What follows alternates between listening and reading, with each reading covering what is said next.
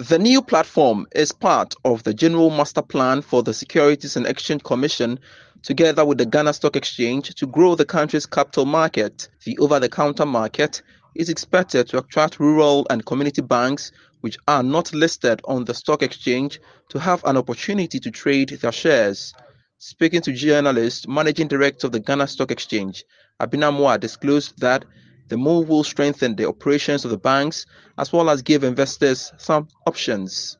Again, the GSE provides a very important governance framework for these banks. So as they come to the GSE, we think some of the best practices of governance, stronger governance that ensures growth and sustainability of the business will come to rub off on many of these companies. So our hope is to organize this market, let investors benefit, but also let the companies benefit and essentially the ultimate beneficiary is our communities, it's our SMEs, it's all Ghana who will benefit from this platform.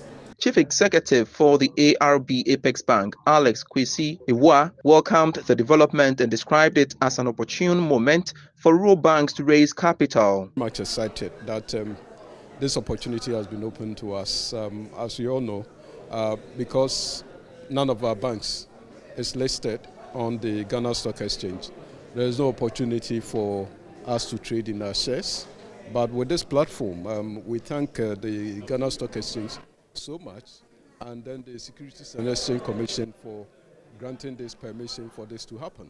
And we believe that um, for us to get our banks on this platform, um, their shares can be tradable, and um, investors who want to invest, you know, can come to this market and then invest. And those who want to offload their shares also will have the opportunity to offload the shares and get the liquidity that they need.